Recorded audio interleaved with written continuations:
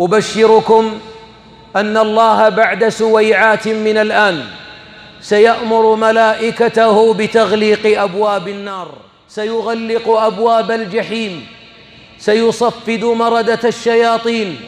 والله بعد سويعات سيعلن الملك الحق سبحانه ويأمر ملائكته خزنة جنات النعيم أن يفتحوا أبوابها. الله أكبر.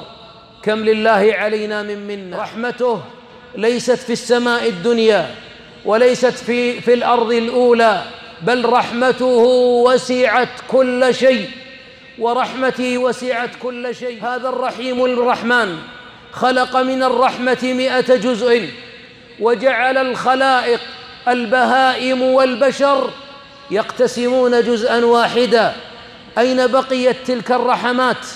إن الله يدخرها لكم إذا وقفتم بين يديه حفاة غرلا بهما عراة لم تكونوا حتى الختان يعود إلى أبداننا. إذا وقفنا بين يديه هناك لنا موعد مع الرحمن مع الرحيم أن يدخلنا الجنان. يا ربي اغمرنا برحمتك في الدنيا وفي الآخرة. أيها الأحباب هذه الرحمة التي جل وعلا بشرنا بها حتى أن الكريم سبحانه لما أن عبدا صالحا أقسم أقسم ألا يغفر الله لعبد من عباده.